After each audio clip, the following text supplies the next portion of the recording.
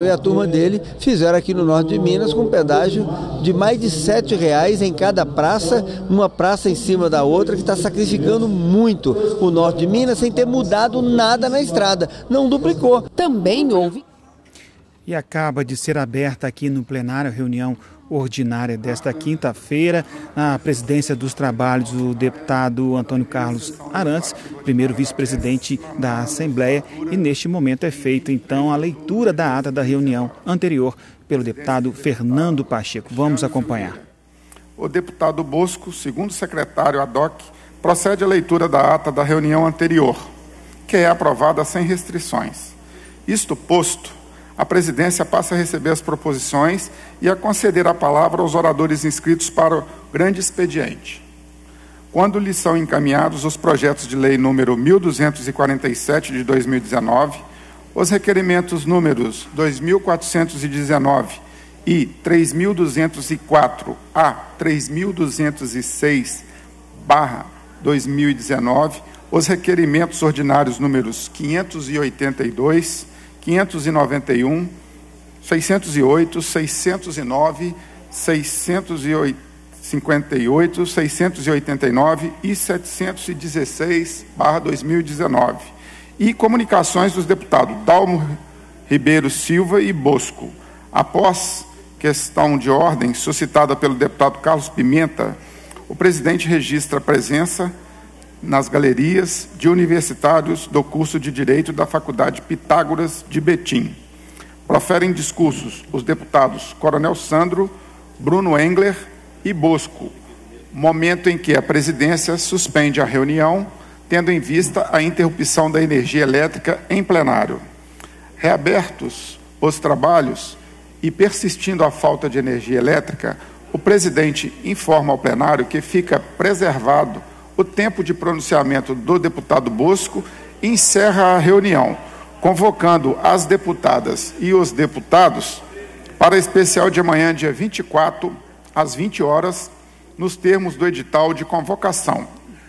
E para a ordinária também de amanhã, às 14 horas, anunciando a ordem do dia. Levanta-se a reunião. Muito obrigado, deputado Fernando Pacheco. Em discussão ata, não havendo quem sobre ela se manifeste, dou-a por aprovada. A presidência passa a receber proposições e conceder a palavra aos oradores inscritos para o grande expediente. Com a palavra, deputado Fernando Pacheco.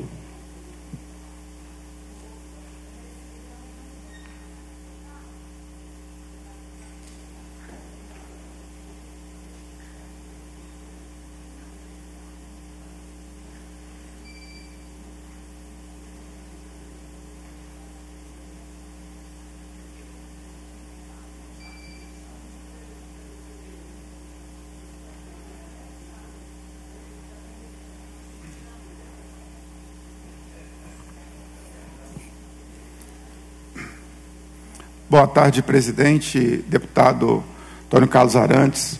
Boa tarde a todos os deputados e deputadas presentes. E boa tarde também a todos que estão nos assistindo pela TV Assembleia.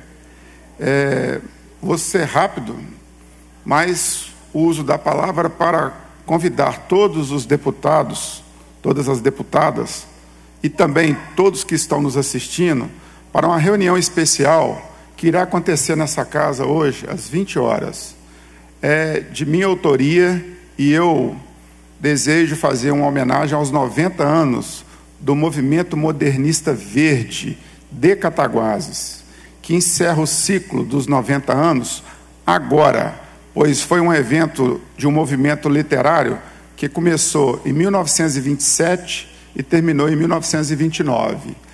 E essa reunião é para fazer todas as reverências, todas as considerações e todas as justas homenagens a esse grande marco de vanguarda e pioneirismo literário do interior. Pois na capital já tinha se espalhado os ideais modernistas literários, aqui em Belo Horizonte teve a revista em 1925, mas no interior foi a primeira cidade do interior a entrar no movimento de forma ativa. e teve repercussão em todas as capitais do Estado e até no exterior, a ponto de Carlos Drummond, Pedro Nava, Mário e Oswald de Andrade tecerem comentários, elogios e até fazerem poemas e considerações pelo feito de nove jovens de entre 17 e 28 anos promoverem numa cidade de interior de 16 mil habitantes um movimento literário que ficou marcado na cultura do país. Então, no dia de hoje, às 20 horas, estaremos fazendo homenagens de forma institucional pela Assembleia a todos os ilustres líderes que fizeram esse movimento.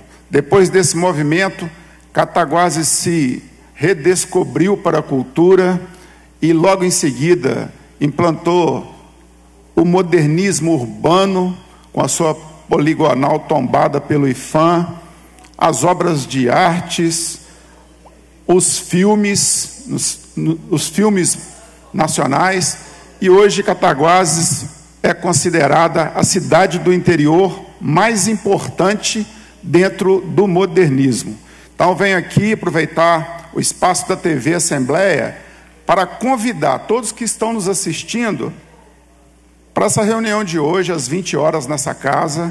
A partir das 19 estaremos recebendo as pessoas no Salão Nobre e, em seguida, iremos vir homenagear família desses nove grandes poetas, escritores que souberam fazer um movimento literário de grandeza e de reconhecimento nacional e internacional numa cidade de interior de aproximadamente 16 mil habitantes àquela época. Então, presidente, agradeço a oportunidade, fica o convite a todos os deputados, todas as deputadas, funcionários e todos que estão nos assistindo para hoje estar aqui conosco a partir das 20 horas para reverenciarmos o movimento literário modernista verde de Cataguases. Muito obrigado, presidente. Muito obrigado, deputado Fernando Pacheco. Com a palavra, deputado Cleitinho Azevedo.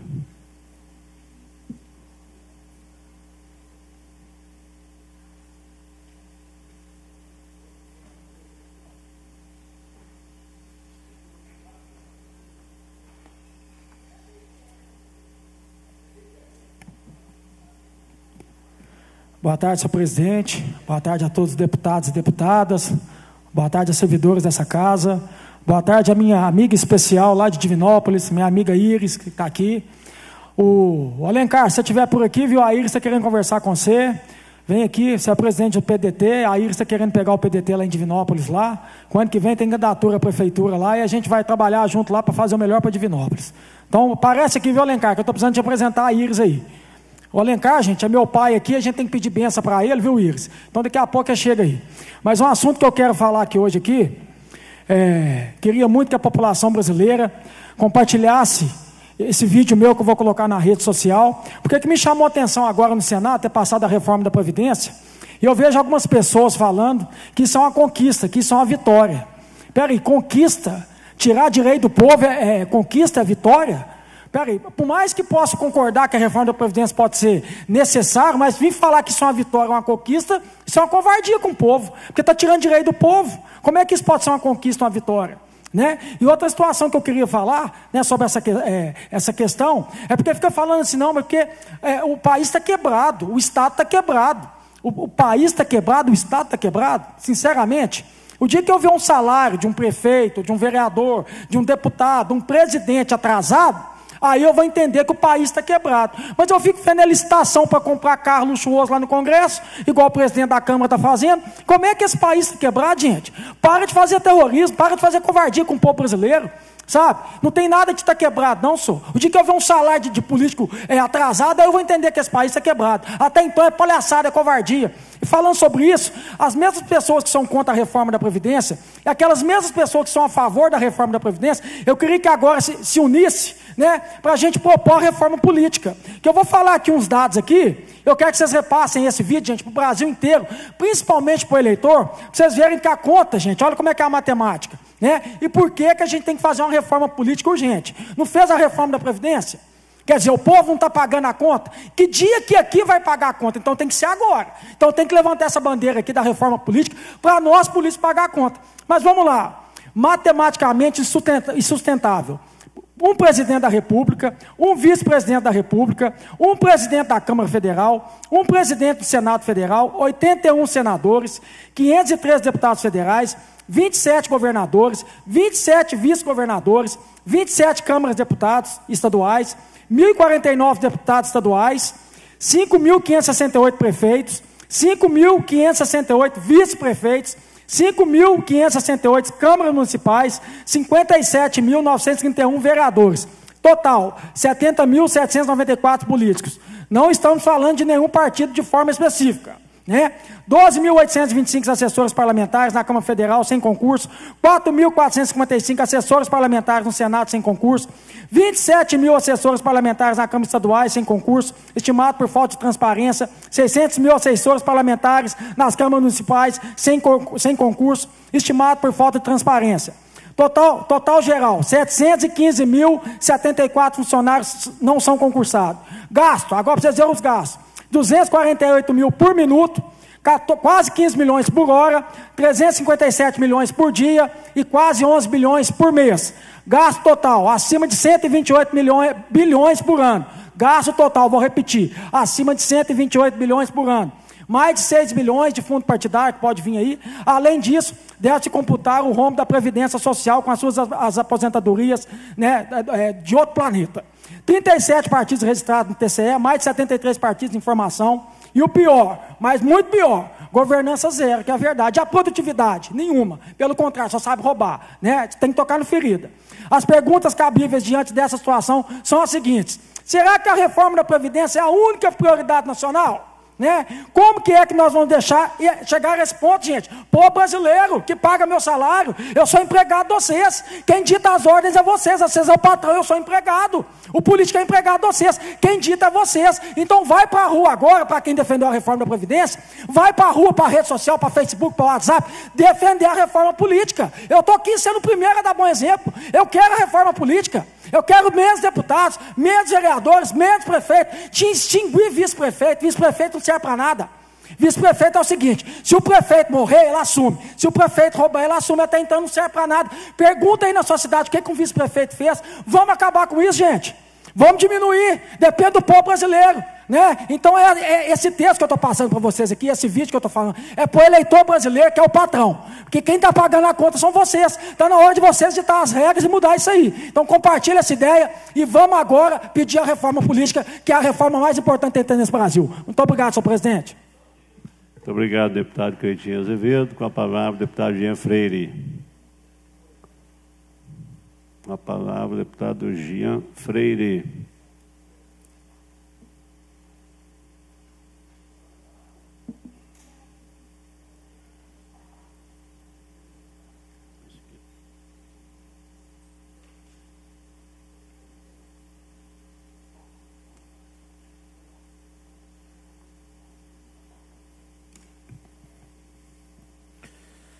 Boa tarde, senhor presidente, caros deputados e deputada aqui presente, servidores dessa casa, público que nos assiste, telespectadores da TV Assembleia.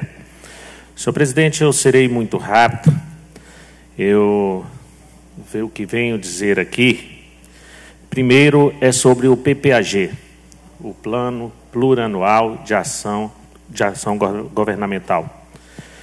Nós, eu como presidente da Comissão de Participação Popular, vários outros deputados, iniciamos na segunda-feira na cidade de Montes Claros. Eu quero aqui, senhor presidente, agradecer a população do norte de Minas, que compareceu lá na Câmara dos Vereadores, na cidade de Montes Claros, agradecer os servidores dessa casa, os representantes do governo executivo que lá estiveram presentes, para debater, deputado Cleitinho, três temas: água, agricultura familiar e cultura.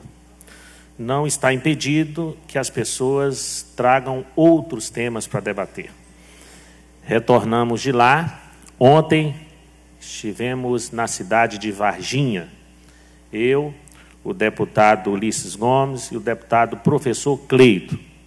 Quero aqui também agradecer a população do sul de Minas, que encheu o plenário lá na, na universidade, em Varginha, é, e deram muitas contribuições ontem para o PPAG.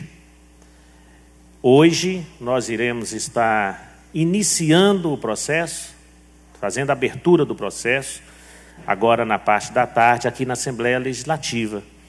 Eu convido todos os deputados e deputadas a comparecerem hoje na audiência de abertura do PPAG na capital, região metropolitana.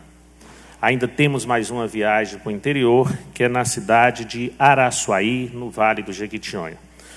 Nós estamos discutindo essas temáticas de água, porque nós estamos sofrendo muito no norte, no nordeste de Minas, com a questão de água, e água não só no aspecto é, que é o principal dele, que é de abastecimento, mas água também, professor Betão, no aspecto é, de saneamento básico, né, é, no aspecto principal, que é o direito humano que está sendo negado.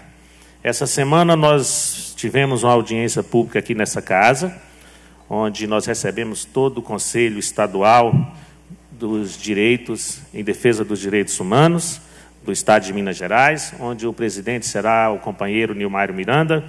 E eu aproveitei esse momento para fazer é, uma denúncia e que fiz durante o processo Assembleia Fiscaliza, que é essa questão da, do acesso à água que está sendo negado às pessoas.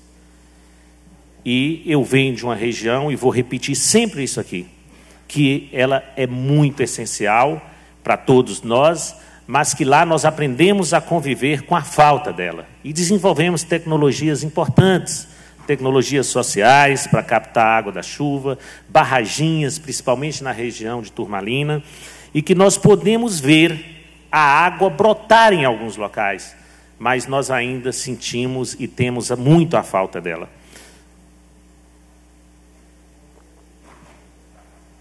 O processo do PPAG irá acontecer durante a semana que vem e nós vamos encerrar o processo no dia 5. Aqui na capital, várias temáticas vão estar sendo discutidas.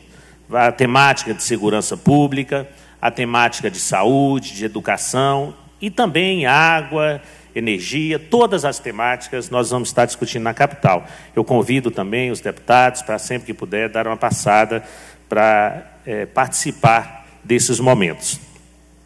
Mas, senhor presidente, ontem, no momento que eu estava no sul de Minas, eu ouvi as pessoas questionarem a questão da água. Ouvi de fala de colegas deputados e de pessoas lá presentes. E que eles colocam muita questão importante, que lá eles não têm essa dificuldade do acesso à água, que lá tem água, lá é uma caixa d'água. Minas é considerado uma caixa d'água. E ouvi lá também que na região de Furnas, isso foi colocado pelo professor Cleito, Furnas, na verdade, está vendendo nossa água para outro estado, para a hidrovia, né? Tietê, Paraná. Ou seja, é, está vendendo a nossa água para outra região. E aí me lembrou, naquele momento, o Vale do Jequitinhonha, que nós corremos um risco, e isso é sério. Isso vem sendo falado nessa casa, já foi noticiado por jornais, alguns já começavam a dizer que isso é uma inverdade, que isso não vai acontecer, mas agora nós estamos vendo a cada dia mais próximo de nós, deputados, a possibilidade de tirar água de uma região que não tem água para transportar minério. Isso é um crime. Isso é o um crime. E eu quero aproveitar aqui esse plenário. Eu quero aproveitar essa tribuna, como deputado do Estado, como deputado da região, mas como filho do Vale, para denunciar isso.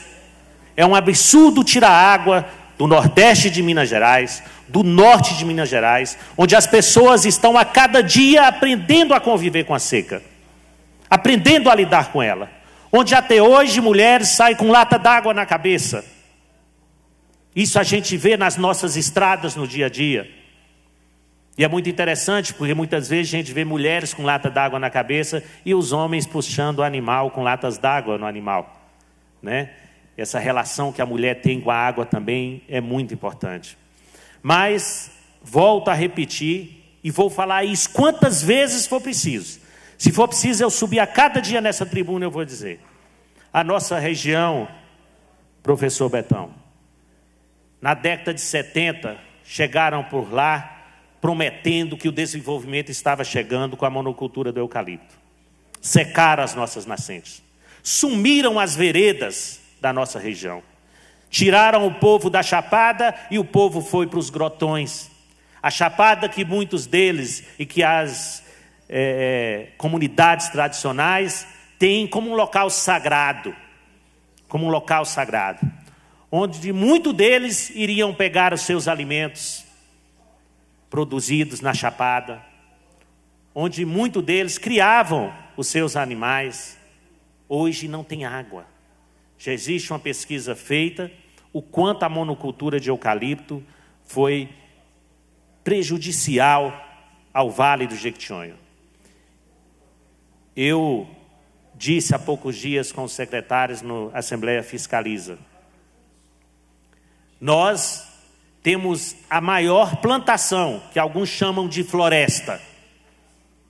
Eu, o povo de lá diz com a grande sabedoria: não existe floresta de um pau só, o mesmo tipo. O povo fala com muita sabedoria. Né? Uma monocultura imensa, isso não é uma floresta, isso é uma monocultura de eucalipto, destruidora. Mas ela está lá, então ela hoje é uma riqueza no ponto de vista de valor econômico que ela tem. Ela está lá. E para onde que ela sai?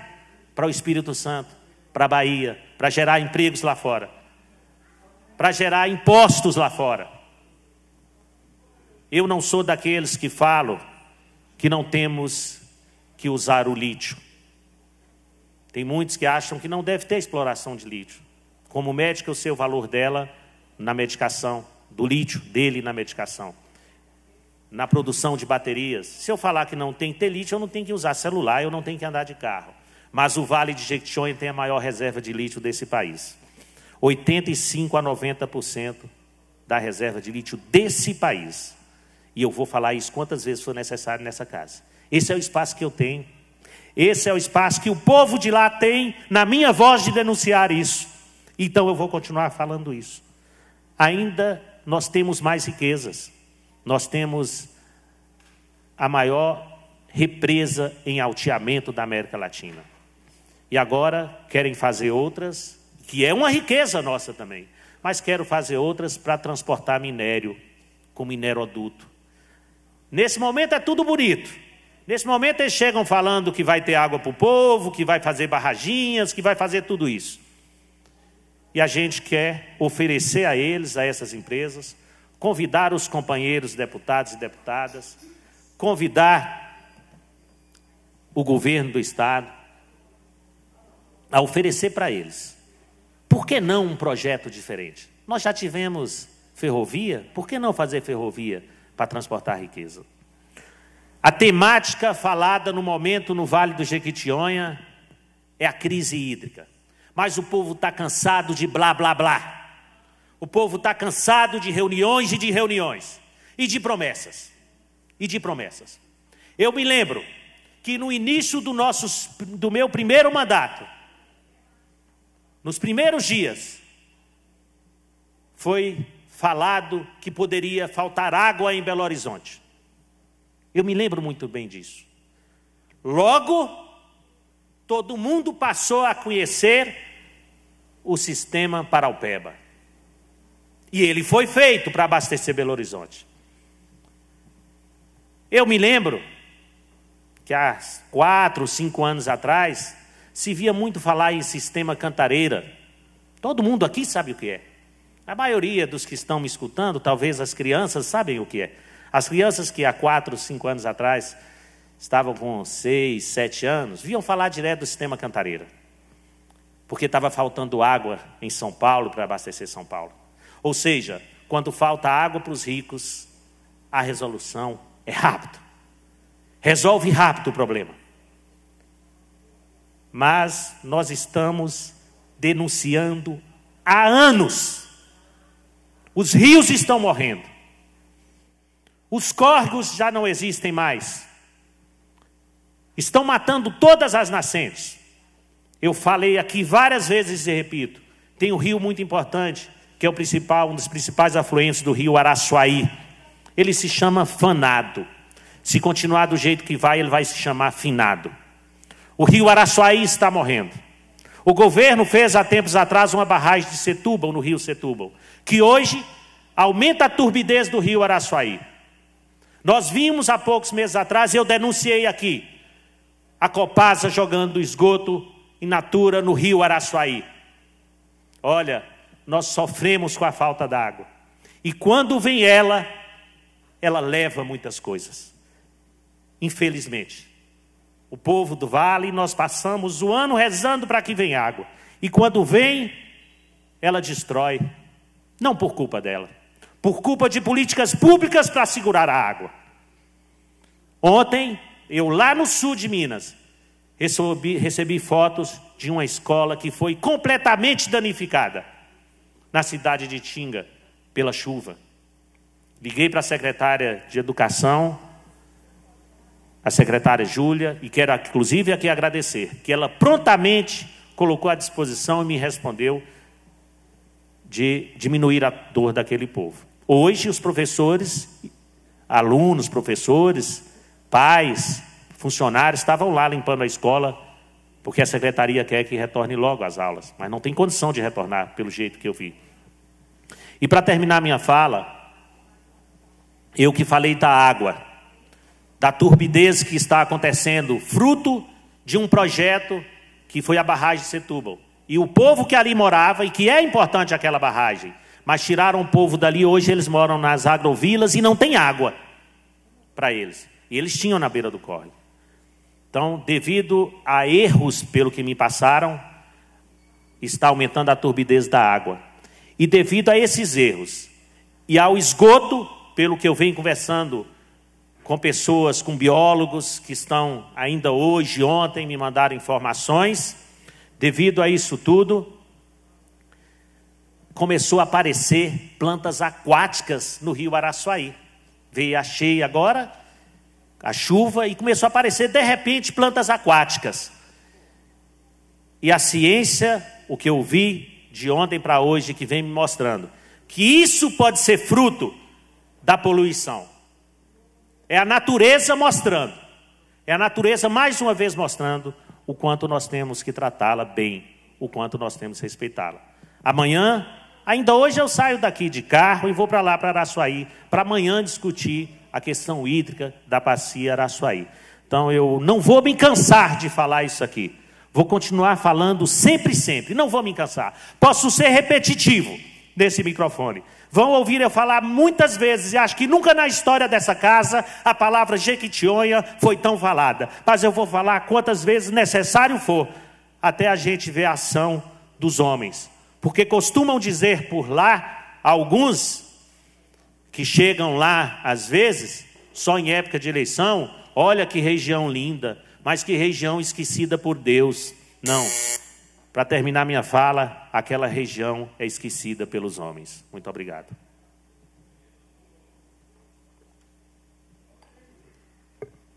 Muito obrigado, deputado Jean Freire. Não havendo outros oradores inscritos, a presidência passa a segunda parte da reunião com a primeira fala do dia, compreendendo os atos da presidência, as comunicações e apreciação de pareceres, requerimentos e indicações. Estão abertas as inscrições para o grande expediente da próxima reunião.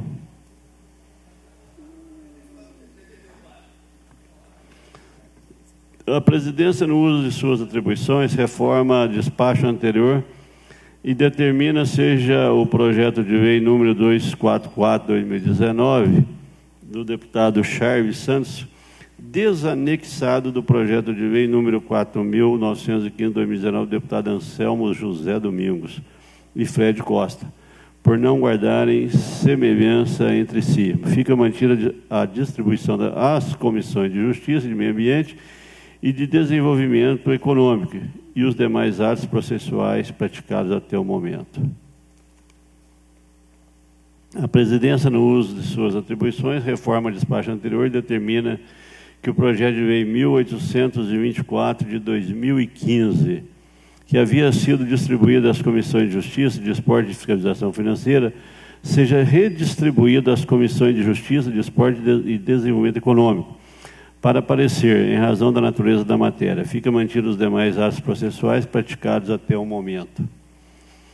Comunicado também, a presidência comunica que foram aprovados conclusivamente, nos termos do parágrafo único do artigo 103 do Regimento Interno, os requerimentos números 2.419 e 3.206 2019 da Comissão de Segurança Pública, 3.216 2019 da Comissão de Saúde, 3.232 a 3.250 2019 da Comissão de Transportes, 3.254 de 2019 da Comissão de Justiça, 3.256 e 3.257 e 3.259 de 2019 da Comissão de, da Pessoa com Deficiente. Publique-se para fins do artigo 104 do Regimento Interno. As comissões permanentes comunicam uma apreciação conclusiva de matéria nas seguintes reuniões. Comissão de Segurança Pública, de Administração Pública, de Desenvolvimento Econômico, de Esporte, de Transporte, da Pessoa com Deficiência, reuniões ordinárias de 22 de 10 de 2019. Comissões de, de Minas e Energia, de Prevenção e Combate às Drogas, do Trabalho, de Cultura e de Defesa do Consumidor, reuniões ordinárias 23 de 10 de 2019. Comissão de Agropecuária, reunião extraordinária 23 de 10 de 2019. Requerimentos sujeitos ao despacho presidente. Regimento ordinário, número 709 de 2019, deputado Bruno Enger. Engeler solicitando a retirada de tramitação do projeto de lei número 917 de 2019, que se encontra anexado ao projeto de lei número 863 de 2019. A presidência defere o requerimento de conformidade com o inciso 8 do artigo 232 do regimento interno.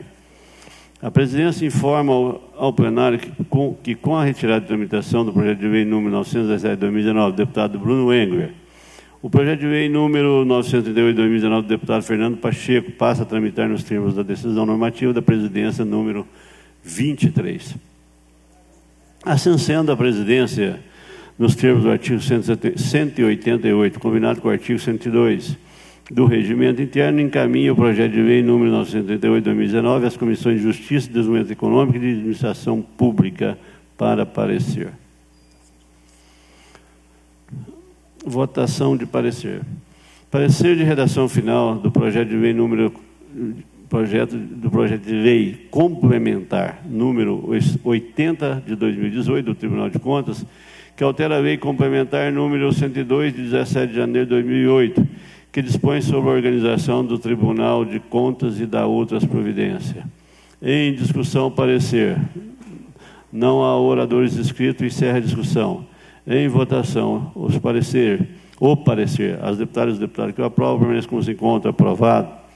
Parecer de redação final também do projeto de lei complementar número 16 de 2019 do Tribunal de Justiça, que altera a lei complementar número 59 de 18 de janeiro de 2001, que contém organização e divisão judiciárias do Estado de Minas Gerais, para unificar os quadros de pessoal da Justiça de primeira instância e segunda instância e dá outras providências. Em discussão, parecer.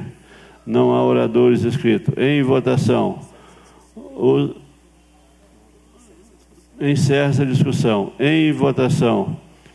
Os deputados e as deputadas que o aprovam permaneçam como se encontram. Aprovado. Parecer de redação final do projeto de lei número 1085, 2019, do, do, do governador do Estado que autoriza a abertura de crédito suplementar ao orçamento fiscal do Estado em favor do Tribunal de Contas do Estado e do Fundo do Tribunal de Contas do Estado. Em discussão ao parecer. Não há oradores inscritos. Encerra a discussão. Em votação. As deputadas e os deputados que o aprovam permaneçam como se encontram. Aprovado. Parecer de redação final do projeto de lei número 1125, 2019, do governador do Estado, que autoriza a abertura de crédito suplementar ao orçamento fiscal do Estado a favor do Tribunal de Justiça Militar do Estado de Minas Gerais. Em discussão, parecer. Não há oradores inscritos. Encerra essa discussão. Em votação, o parecer. As deputadas e os deputados que o aprovam, mesmo se encontram, aprovado. Parecer de redação final do projeto de lei número 1126, 2019, do governador do Estado, que autoriza a abertura de crédito suplementar ao orçamento fiscal do Estado em favor da Defensoria Pública do Estado de Minas Gerais. Em discussão, parecer. Não há oradores inscritos, encerra essa discussão. Em votação, os deputados e deputados que aprovam permaneçam como se encontra aprovado. Parecer de redação final do projeto de lei número 1127 de 2019 do governador do Estado, que autoriza a abertura de crédito suplementar ao orçamento fiscal do Estado em favor do Ministério Público do, do Estado de Minas Gerais e do Fundo Especial do Ministério Público do Estado. Em discussão, parecer. Não há oradores inscritos. Encerra essa discussão. Em votação, parecer. Os deputados e os deputados que eu aprovo permaneçam como se encontram. Aprovado.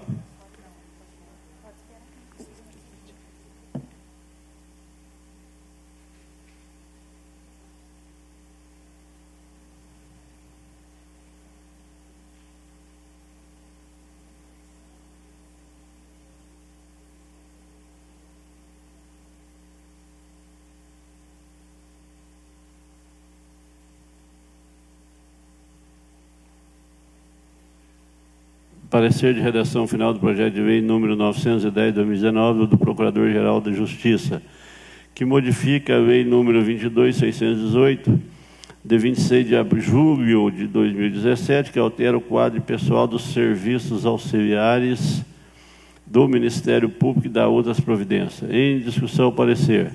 Não há oradores inscritos, encerra essa discussão. Em votação, parecer. Os deputados e deputados que aprovam, eles se encontram. Aprovado. Parecer de redação final do projeto de lei número 1013 de 2019 do governador do Estado que institui o Fundo Estadual de Segurança Pública de Minas Gerais. Em discussão, parecer. Os deputados e os deputados que aprovam, não há oradores inscritos. Os deputados encerram essa discussão. Em votação. Os deputados e os deputados que aprovam, se encontram. Aprovado. Requerimento ordinário 400, número 463, 2019, do deputado, do delegado, deputado delegado Evigrivo, solicitando que seja o projeto de lei número 492, 2019, distribuído à Comissão de Agropecuária para aparecer. Em votação, requerimento. As deputadas e os deputados que eu aprovo, mesmo se encontram aprovado. Com a aprovação do requerimento ordinário, número 463 de 2019, fica prejudicado o requerimento ordinário número 608 de 2019 da deputada Beatriz Cerqueira, solicitando que seja o projeto de lei número 492 de 2019 distribuído à Comissão de Trabalho para parecer. Requerimento ordinário número 534 de 2019, da deputada Beatriz Cerqueira, solicitando que seja o projeto de lei número 566 de 2019 distribuído a Comissão de Educação para aparecer. Em votação, requerimento. Os deputados e deputados que eu aprovo permaneçam como se encontram. Aprovado. Requerimento ordinário número 582, 2019, deputada Veninha.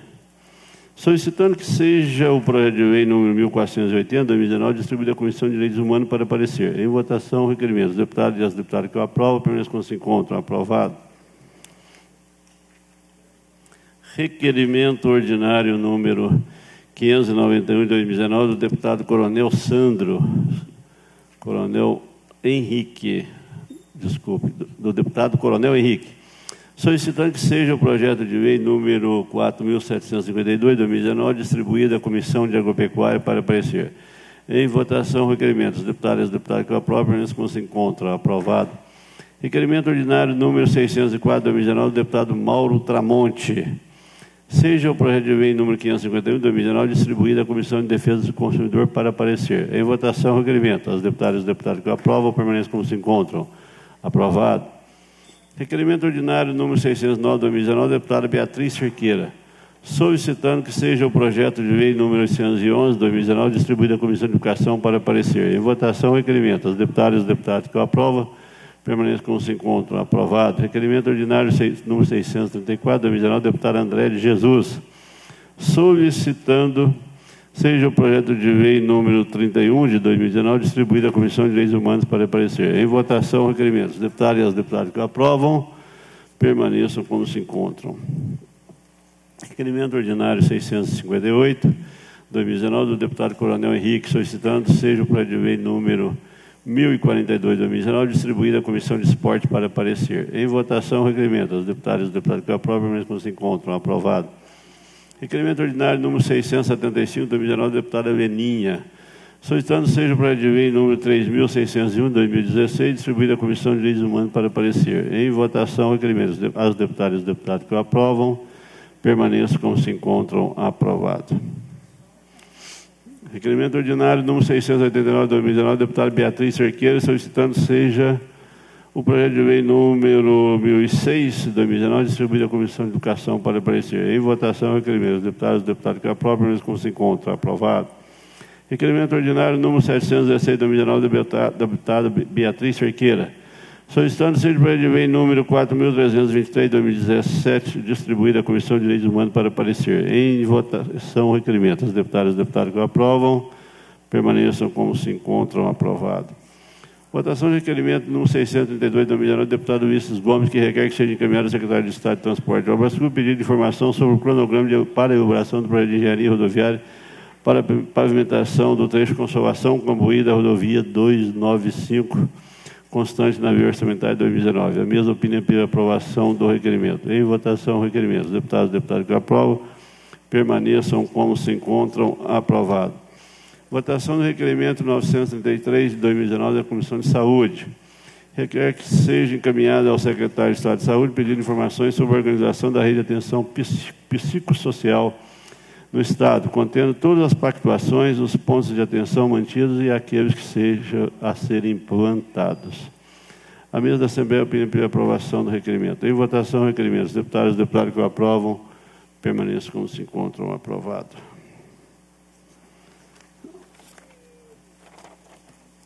Votação de requerimento número 1059 da Comissão de Segurança Pública quer que seja encaminhado ao diretor do Departamento de Trânsito do Estado de Minas Gerais pedido informações sobre os valores arrecadados nos últimos cinco anos, a título de emolumento do sistema de, fabrica de fabricação de placas, comparando seu quantitativo ao ferido com o montante devido, apurado com base nas notas fiscais emitidas pelo Estado. A mesa da Assembleia opina pela aprovação do requerimento. Em votação do requerimento, os deputados e deputadas que aprovam permanecem como se encontram aprovados.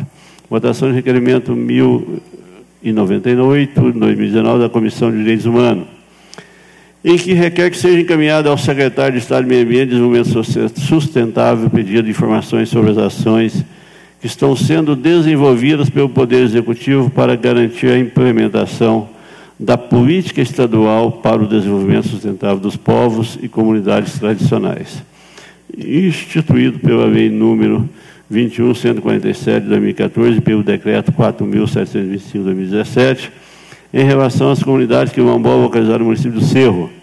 A mesa da Assembleia opina pela aprovação do requerimento. Em votação, requerimentos, deputados e deputados que aprovam permaneçam como se encontram aprovados.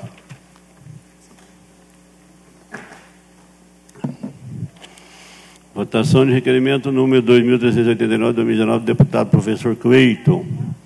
Em que requer que seja encaminhado ao secretário de Estado da Fazenda pedir informações consubstanciadas no percentual de contribuintes que declararam nos últimos 10 anos para fins de recolhimento do ITCD a transferência de bens ou direito nas faixas é, do valor venal que menciona, separando-se as informações por fato gerador, causa morte e e sejam informados os valores arrecadados pelo Estado, se possível com aplicação do índice oficial de correção, no período em que, em que vigorava a alíquota progressiva do ITCD.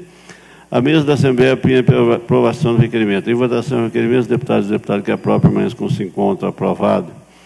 Votação de requerimento 2.602 de 2019 da Comissão de Transporte, que requer que seja encaminhado ao governador do Estado pedindo informações sobre a quantidade de veículos localizados utiliz, veículos locados utilizados pelo governo, especificando-se a quantidade de órgão ou secretaria em que estão alocados, o número de veículos locados e o valor gasto anualmente com os contratos de locação discriminados por locadoras. A mesa da Assembleia opina pela aprovação do requerimento na forma substitutiva número 1 que apresenta. Em votação, o requerimento dos deputados e deputadas que aprovam permanece como se encontra. Em votação substitutiva número 1, as deputadas e deputados que aprovam permanece como se encontram. Aprovado.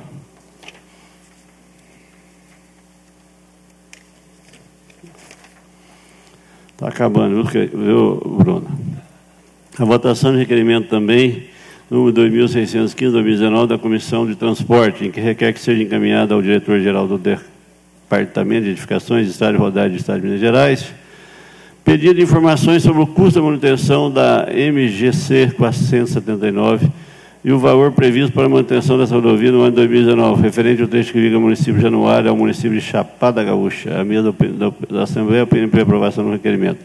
Em votação, requerimento das deputadas e deputados que aprovam, mas com se encontra aprovado. Requerimento também número 2617, 2019, da Comissão de Transporte, em que requer que seja encaminhado ao diretor-geral do Departamento de Edificações Estado de Rodagem do Estado de Minas Gerais Pedido de informações sobre o custo de manutenção da LMG 656 e o valor previsto para a manutenção dessa rodovia no ano de 2019, referente ao trecho que liga o município de Lagoa dos Patos ao entrocamento da LMG 674. A mesa da Assembleia opina pela aprovação do requerimento na forma substitutiva número 1 um que apresenta. Em votação substitutiva número 1, um, as deputadas e deputados que aprovam, permaneçam com se encontro. Aprovado. Agora, pela ordem, deputado Bruno Engler. Obrigado, senhor presidente. Senhor presidente, ontem eu ocupei a tribuna dessa casa e falei sobre os traidores que existem dentro do meu partido, que traem o presidente da República, traem os seus eleitores e agem contra o nosso país. Hoje saiu na imprensa e eu faço questão de vir aqui repudiar o senador Major Olímpio e os deputados federais Abu Ani, Coronel Tadeu, Joyce Hasselman e Júnior Bozella. Estes começaram no PSL um pedido para a expulsão do deputado federal Eduardo Bolsonaro. Eduardo Bolsonaro não é apenas o filho do presidente da República, ele é o deputado federal mais votado da história do nosso país, com mais de 1 milhão e 800 mil votos. Ninguém representa melhor do que ele na Câmara Federal os ideais das pessoas que votaram no PSL e os valores que eles querem ver representados no Congresso Nacional. Só que esses canalhas não estão nem aí para os eleitores do PSL. Eles não têm respeito ao povo brasileiro. Eles têm apenas uma ânsia mesquinha de poder que acham que vão conseguir passando por cima do presidente da República e do povo que os elegeu. É uma pena que tenhamos no meu partido pessoas tão patéticas, mas o tempo é o senhor da razão e vai tratar de extinguir da vida pública todos esses canalhas. Muito obrigado. Obrigado, deputado Bruno Engel. A presidência encerra a reunião e convoca os deputados e deputados para a próxima para especial de logo mais às 20 horas, destinada à comemoração dos 90 anos do movimento modernista Verde de Cataguases. Levanta-se a reunião. Deputado Antônio Carlos Arantes, primeiro